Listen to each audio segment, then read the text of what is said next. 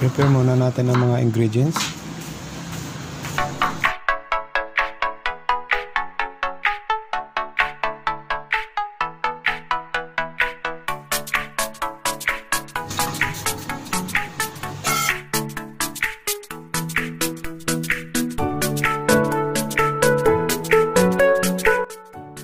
Ito na yung balat ng baka.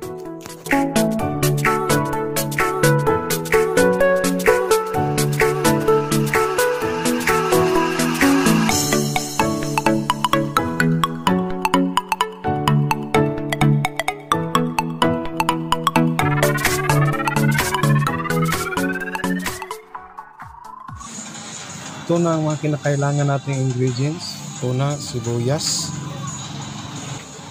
siling labuyo, tanglat, beef cubes, bell pepper,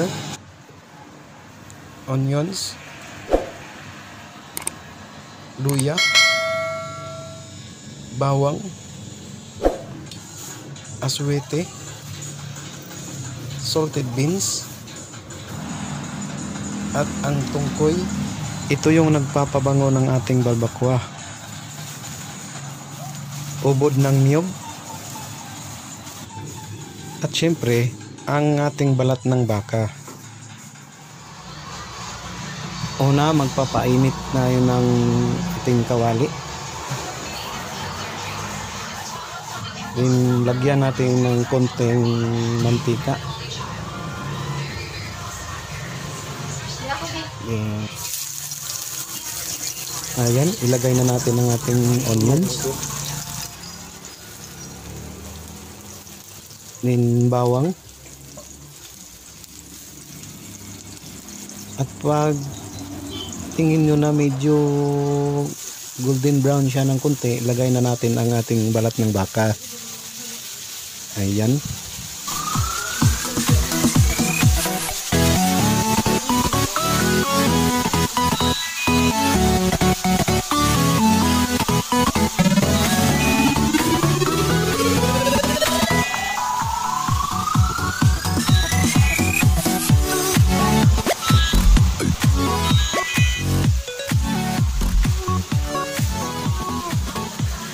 Haluin muna natin kunti.